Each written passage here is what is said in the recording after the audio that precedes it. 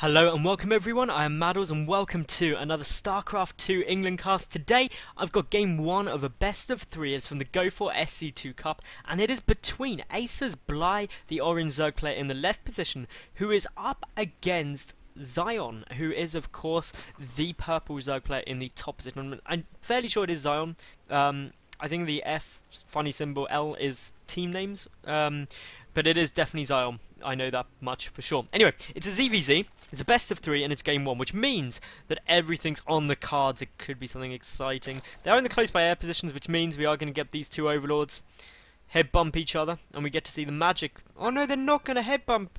No. Oh, look at this. They're going to miss each other. These poor overlords, all they want to do is make friends, but they're not going to get to. They're going to just see each other and go strolling on past. It's like a little road, and they're each going their own separate ways. It's an American road because they're both driving on the right side of the road. And that was the most off-topic tangent ever. But, yes, let's talk about the game. So far, they haven't built spawning pools, which means neither of these players are planning on going for a cheesy build yet. I say yep because they could just go for a fake expansion into mass speedlings. That's a possibility. It's always a funny possibility, but a possibility nonetheless. Um, they haven't built gas either, which means they're probably not going for a super early speed. And the fact they're both a 15 supply means they're probably both going to go for a 15 hatch, which we're seeing is going to be the case with them both pulling down the drones ASAP. We've got the scouting overlords finally making it to the base, who will now come to the same conclusion that their opponent has not built yet a spawning pool, and therefore must have built a hatchery at 15 at the same time that they themselves did. So they now know that they are mirroring each other in a mirror matchup, and they like mirrors, which basically means that not much is going to go on for a while, but ZVZ is a really exciting matchup, in my opinion, because basically at the at one period of time it can seem like everything's going the same, but then a minor difference like the gas timing which we're seeing here can have a huge effect. Suddenly Bly could get speed out, or I say suddenly, he can get speed out quicker, and then he can suddenly just flood with Zerglings, and due to the larva mechanic he can get an awful lot of those very very quickly, and there is not much xion can do to stop it. And that can make scouting quite difficult, and it's all about looking at how many larva are chilling, and how many drones there are out to really make an accurate assumption about how many units your opponent has. The defender's advantage, though, is very, very important in ZVZ. So xion, having got the scout off on that gas, is good news for him. Meanwhile, both players are fairly aware of what their opponent's doing based on all the timing, so that is good news. Both hatcheries are going to get, well, one of the hatcheries is going to get spotted here by Bly. The double queen production started for xion. Only a single queen at the moment for Bly, who should get his second queen up ASAP. You need that second queen, but instead actually choosing to get speed out a fraction quicker. So, he's delaying that queen to get speed earlier, so perhaps a bit of aggression is going to come down, a bit of deductive reasoning straight there, and yeah, we are seeing an, a good strategy strategy from both these players. A different strategy, but a good one nonetheless. Due to the fact that Bly is getting that slightly later queen, it means there will be a couple of larva out slightly quicker for xion.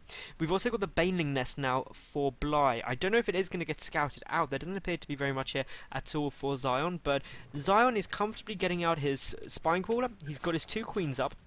And he is actually bringing these queens towards the ramp, so this is a really interesting strategy where he gets out three, four queens early, and he can use two queens to block off the ramp to prevent precisely against what Bly appears to be planning on doing, which is getting out a large number of speedlings and banelings and going for aggression. That makes things really interesting because xion is now getting geared up to defend this in a perfect way. It just depends whether he's going to be able to or not. Looking at the worker count though, we do have an advantage of xion having three more workers than that of his opponent. He does have the double spine call up, so he's clearly clearly concerned about something, but judging from what he scouted, ah, he's seen the Baneling Nest. That's what's caused it. He saw the early Baneling Nest and suddenly is a little bit panicked. We've got the double evolution chamber on their way down just to create a bit more of a wall off, just to make things a little safer and try to delay the advance of the Banelings, etc. But unfortunately there is a small gap here, which is currently getting defended by Zerglings. The Queen could come and chill in there as well, though, should it want to. But for the moment, we do see Bly trying to poke in, repeatedly checking that, hang on, this is not a complete wall-off, and that does mean that I can stream straight into your main base, and that is bad news for xion, and that is why SimCity has to be absolutely perfect when you do place all of your buildings. The Queen gets down, but luckily, here's some xion built earlier.